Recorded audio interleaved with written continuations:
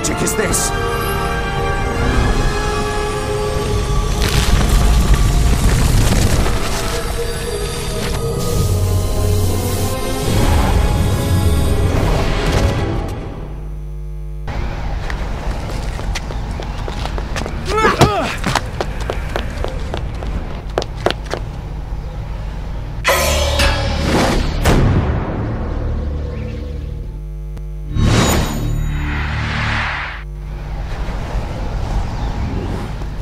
Seems I've discovered one of the time-traveling portals the old man spoke of.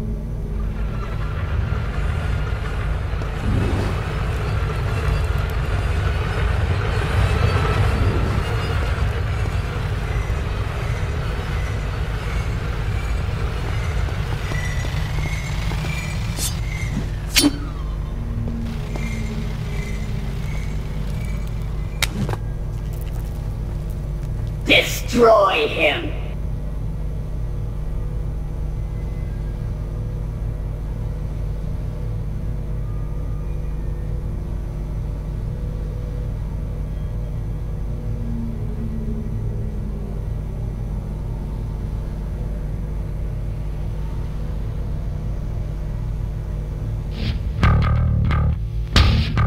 Let's finish him!